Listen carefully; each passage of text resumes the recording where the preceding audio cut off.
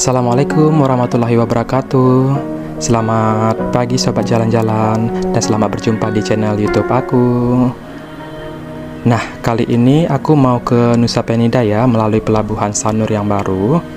Ini aku ke Nusa Penidanya tanpa ikut tour travel ya Jadi untuk biaya dan akomodasinya lebih murah teman-teman. Jadi kalau anda penasaran Tetap terus ikuti untuk vlog ini ya Nah, seperti kita lihat tadi teman-teman, di depan tadi ya itu sudah banyak para wisatawan sudah mulai mengantri di depan pintu masuk dari pelabuhan Sanur yang baru teman-teman. Nah, kali ini kita lihat juga sudah banyak beberapa para wisatawan sudah mulai masuk ke dalam dan menuju ke bootnya masing-masing. Situ kita lihat ada tadi sudah ada dermaga penyeberangannya ya. Nah, bagaimana keseruannya? Ikuti terus vlog ini sampai habis.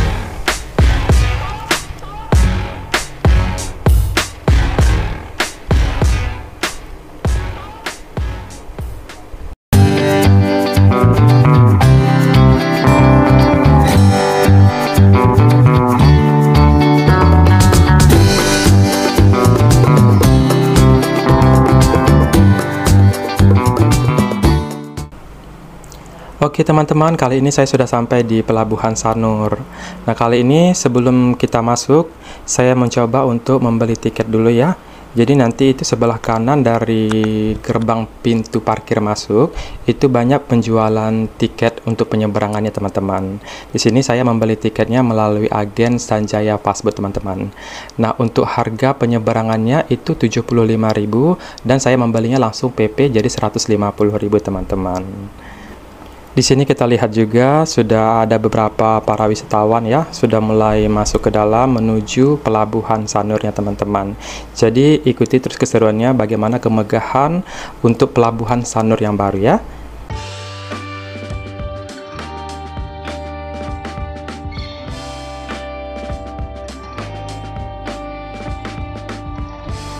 Oke teman-teman, di tangan saya ini saya sudah memegang untuk tiket penyeberangan ke Nusa Penidanya ya.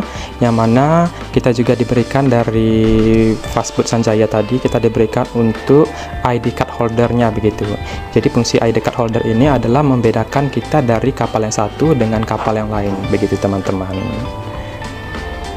Nah, sebelum kita menuju ke pelabuhan Sanur yang baru, dari pintu masuk parkiran tadi lurus itu kita menuju ke pelabuhan yang lama yang teman-teman yang mana pelabuhan yang lama itu namanya matahari terbit.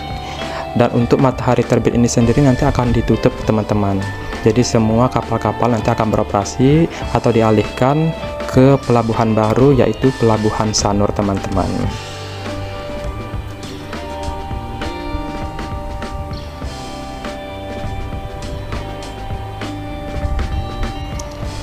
Nah, sebelah kiri dari pintu gerbang matahari terbit, ini kita lihat ya teman-teman ya, di situ ada stand-stand tempat penukaran tiketnya teman-teman. Jadi itu biasanya adalah stand-stand tempat penukaran tiket dari agen travel atau tour travel begitu. Nah, di situ juga kita lihat banyak para pedagang ya untuk menjual dagangannya. Di sini kita lihat banyak menjual topi-topi atau baju pantai begitu teman-teman untuk sekedar cendera mata. Oke, setelah kita puas berkeliling-keliling tadi di kawasan untuk pelabuhan Matahari Terbit ya teman-teman. Ini kali ini saya sudah menuju ke pelabuhan Sanur yang baru. Yang mana untuk pelabuhan Sanur yang baru ini dari pintu masuk parkir itu Anda nanti lurus saja sekitar 10 meter dan belok ke kiri ya teman-teman ya. Nah, oke okay, teman-teman, setelah kita belok kiri, ini teman-teman cukup jalan lurus saja ya ke depan ya, karena dari pengkolan belok kiri tadi itu tidak terlalu jauh ya. Nah, di sini juga kita sudah lihat untuk bangunan dari gedung pelabuhan Sanur yang baru teman-teman. Nah, sedikit informasi teman-teman, jika Anda untuk ke Nusa Penidanya ini sendiri atau berdua, untuk pembelian tiketnya tadi yang saya jelaskan di depan ya. Jadi dari pintu masuk parkir motor atau parkir motor mobil itu sebelah kanan ya teman-teman ya. Di situ ada ruko-ruko untuk tempat penjualan tiket mandiri begitu ya. Nah, di sini juga teman-teman kita sudah lihat ya betapa megahnya untuk pelabuhan Sanur yang baru teman-teman. Nah, di sini ikon dari pelabuhan Sanur yang baru teman-teman itu kita lihat seperti kepala gajah ya teman-teman ya. Aku juga tidak tahu teman-teman itu ikon patung apa begitu ya. Oke mungkin dari ada beberapa teman-teman yang tahu itu patung ikon apa boleh nanti dituliskan di kolom komentar. Nah saat ini kita sudah masuk di kawasan depan pelabuhan Sanur teman-teman. Di sini kita terlihat ada tulisan pelabuhan Sanur. Itu ada tulisan Kementerian Perhubungan begitu ya dan kita lihat juga tadi teman-teman sudah ada mungkin banyak mobil-mobil yang sudah parkir mungkin adalah menjemput atau mengantar para wisatawan begitu teman-teman Nah, saya juga di sini sudah terlalu excited untuk melihat dalam di dalam maksud saya untuk pelabuhan Sanur yang baru tersebut ya. Ikuti terus vlog ini.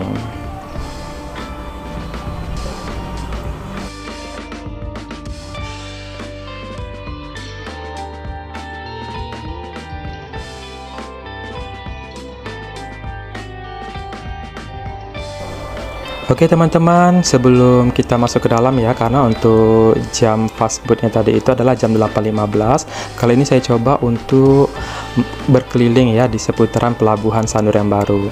Nah, kita lihat seperti di depan ini ya, sebelah kiri dari pelabuhan Sanur yang ini tadi kita lihat ada parkiran motor. Jadi buat teman-teman yang menggunakan motor untuk menuju ke pelabuhan Sanur yang baru ini, Anda tidak perlu khawatir ya. Jadi untuk parkir motornya ini tidak terlalu jauh dan berada di sebelah kiri dari pelabuhan Sanur yang baru ini teman-teman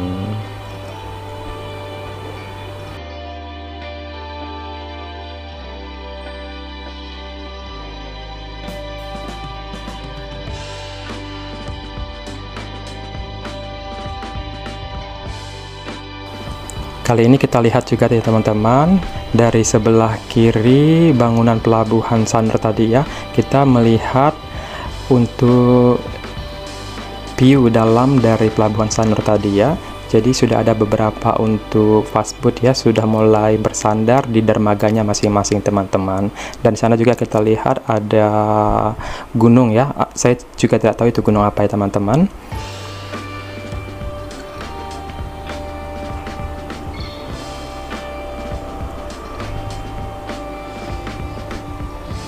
Nah, seperti kita lihat juga teman-teman di sini begitu megah untuk pelabuhan Sanur yang baru ya teman-teman dan untuk air lautnya juga di sini lumayan tenang teman-teman. Begitu.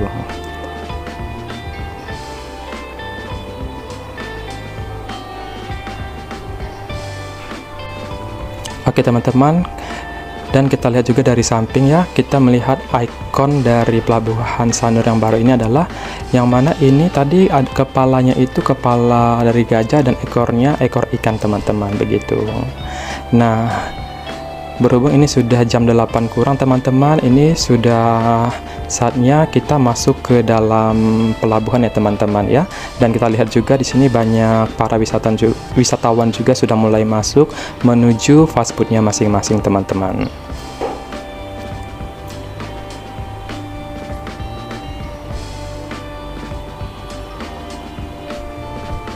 Nah, oke okay, teman-teman, setelah kita masuk ke dalam jangan lupa ya untuk tiket yang kita beli tadi itu itu kita keluarkan ya teman-teman karena di dalam itu ada pemeriksaan tiket untuk scan barcode-nya teman-teman.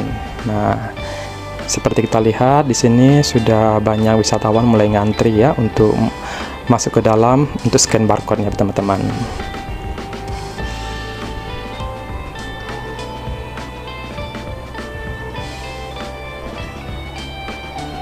Nah, setelah kita scan barcode, kita menuju ke lantai atas ya. Ini melalui lewat eskalator, teman-teman.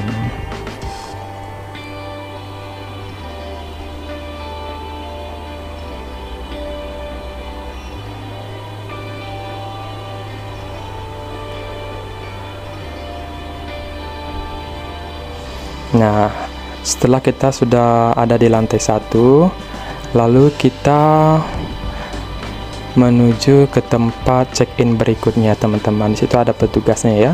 Kita lihat itu para petugasnya mengecek untuk tiket kita teman-teman. Nah, setelah kita dicek tiketnya lalu kita masuk ke dalam teman-teman dan turun kembali melalui eskalator eskalator luar begitu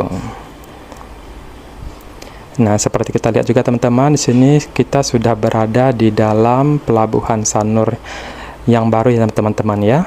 Dan kita lihat juga banyak para wisatawan ya sudah mulai mengabadikan atau sekedar berfoto-foto di kawasan di pelabuhan Sanur ini ya sebelum menuju ke bootnya masing-masing teman-teman.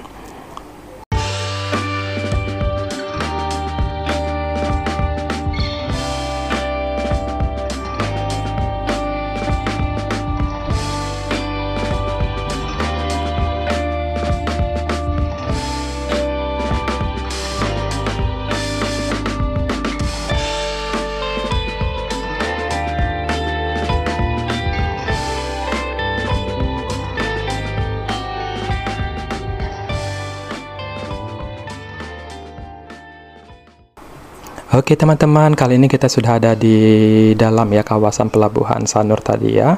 Nah, kali ini kita sudah ada di jembatan penyeberangannya ya menuju ke fastboat kita masing-masing. Seperti kita lihat juga teman-teman di sini sudah ada mungkin beberapa wisatawan ya, sudah ada yang balik dari Nusa Penida teman-teman. Nah, kali ini kita berjalan terus menuju ke boot kita masing-masing. Nah, untuk pelabuhan Sanur yang baru ini teman-teman ya, karena di sini kita menuju jembatan, menggunakan jembatan, maksud saya, jadi kita tidak perlu untuk lepas sepatu atau lepas sandal begitu teman-teman.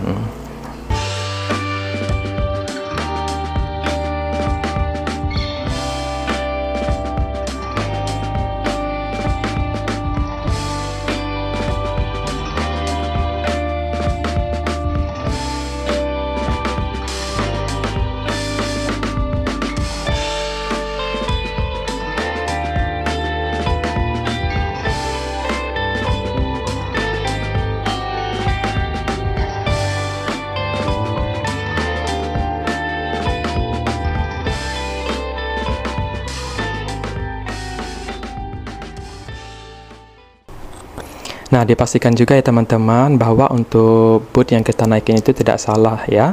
Jadi kita menaikin boot itu adalah sesuai dengan boot yang kita beli tiketnya tadi begitu teman-teman. Berhubung di sini saya membeli tiket bootnya tadi adalah Sanjaya.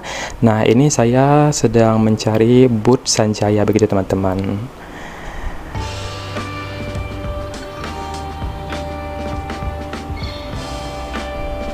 Nah, ini dia untuk boot Sanjaya teman-teman. Nah, kita menuju ke boot kita ya. Kita masuk ke dalam. Ikutin terus.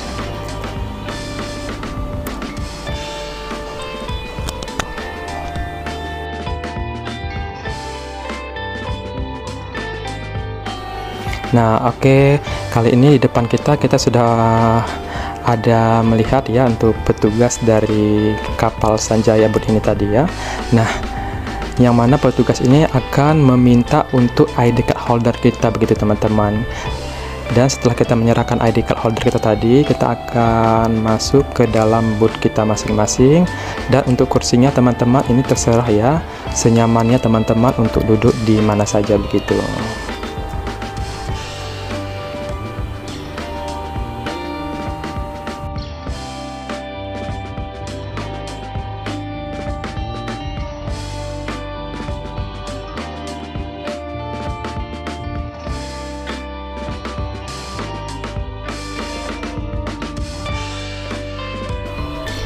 Di sini kita lihat juga ya teman-teman, di atas dari kursi kita itu sudah ada disediakan untuk pelampung ya, yang mana pelampung ini dapat digunakan nanti dalam keadaan darurat begitu.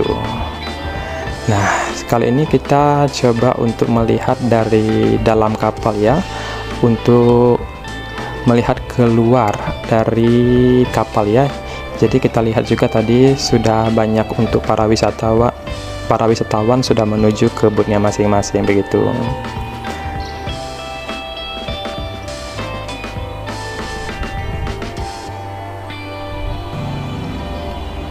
Ya, ini dia kapal kita sudah jalan ya. Dan kita lihat juga di sana seberang sana ada kapal juga ya, yang mana ini akan sama-sama menuju ke pelabuhan Nusa Penida begitu teman-teman. Ikutin terus keseruannya.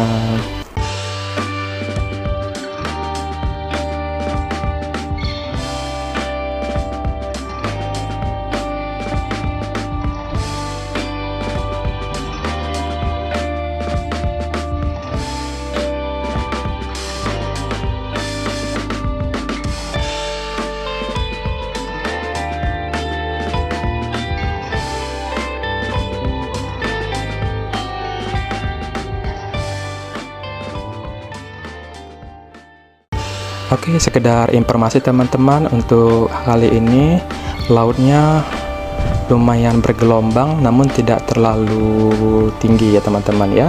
Jadi bagi Anda yang mungkin mabuk laut disarankan untuk tidak duduk di depan begitu. Karena jika Anda duduk di kursi yang paling depan itu goncangannya terasa dan Anda akan lebih cepat mual dan mabuk begitu. Disarankan bagi Anda yang mabuk itu duduk di tengah-tengah karena di tengah tidak terasa goyangannya. Oke, kali ini kita sudah hampir sampai teman-teman ke pelabuhan Nusa Penida, tepatnya itu nanti di pelabuhan Toyapake. Nah, seperti kita lihat di sana sudah ada kelihatan untuk pelabuhannya ya.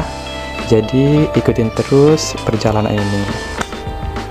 Nah, ini kita sudah sampai teman-teman dan para wisatawan di sini sudah mulai turun dari boot kita ya. Nah, sedikit informasi teman-teman, ini berhubung saya sudah memesan untuk motor ya. Jadi di sini juga nanti setelah kita turun dari kapal pelabuhan ini nanti akan banyak para warga asli Nusa Penida yang akan menawarkan untuk sewa motor. Yang mana untuk harga sewa motornya sendiri itu range harganya dari 75.000 sampai dengan 150.000 per hari tergantung jenis motornya. Nah kali ini saya sudah ketemu sama beli wayan ya yang mana beli wayan ini kita sud sudah ada janji ya untuk sewa motornya selama dua hari dan harganya sendiri adalah 75.000 per harinya dan sedikit informasi juga teman-teman ini per bulan April 2022 yang mana pemerintah Kabupaten Nusa Penida itu menerapkan seluruh wisatawan yang masuk ke Nusa Penida akan dikenakan biaya retribusi sebesar 25.000 yang mana untuk biaya tersebut nanti akan untuk mengembangkan wisata Nusa Penida tersebut begitu. Dan ikutin terus vlog saya selanjutnya. Jangan lupa like dan subscribe. Dadah.